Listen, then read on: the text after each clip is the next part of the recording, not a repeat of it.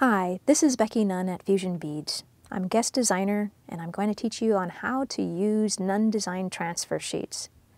The Nunn Design transfer sheets have a variety of different options that you can choose from and they're already pre-sized to fit the Nunn Design bezels.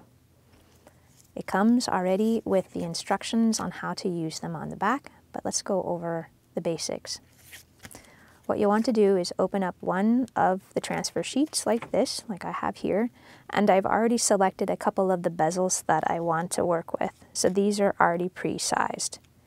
If you by chance chose a different size bezel that you don't have onto the sheet, you would lay your bezel over and find an interesting crop of where you would like to have your item. You would trace around the inside of the bezel and then trim it out the way you need to. I've already trimmed two of these pieces out over here, and I'm going to show you what you do next.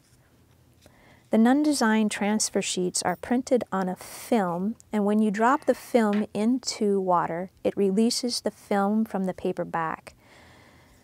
These are open back bezels, and we're going to be showing how we're going to be um, doing this in, a, in another video, but just to show you how to release this, you place the transfer sheet into some water, a small dish of water. I usually do one at a time while I'm working so that I don't get too many going at the same time. And you place it into the water and you let it sit for about a minute. It'll curl up like you saw instantly, like a little potato chip. And then as it's releasing from the paper back, it'll slowly start to flatten out. And that's telling me that the paper has released from the film front. After about a minute, there it goes. You see how that film is just sliding right off of the front? You can see that they're separating. Now your film is ready to use. First, lay it down on top of here, and we're just getting all of the extra moisture out of the film before we use it.